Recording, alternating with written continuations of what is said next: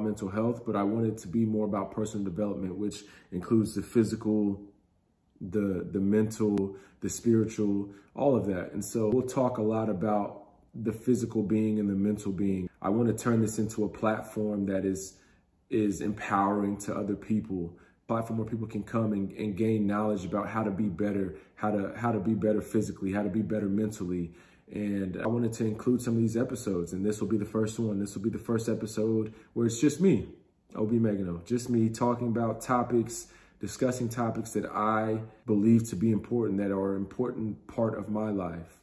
And uh, I hope you guys like it, but we'll also have the the interview type of the traditional type that you guys have, have been hearing where I interview people and they come on and share their experiences with mental health. It won't only be with athletes, it will be with people who I, I see as successful and, and, and I value their input. And I think that they could come on here and share and give knowledge for you guys. Because at the end of the day, that's what it's about. It's about giving knowledge.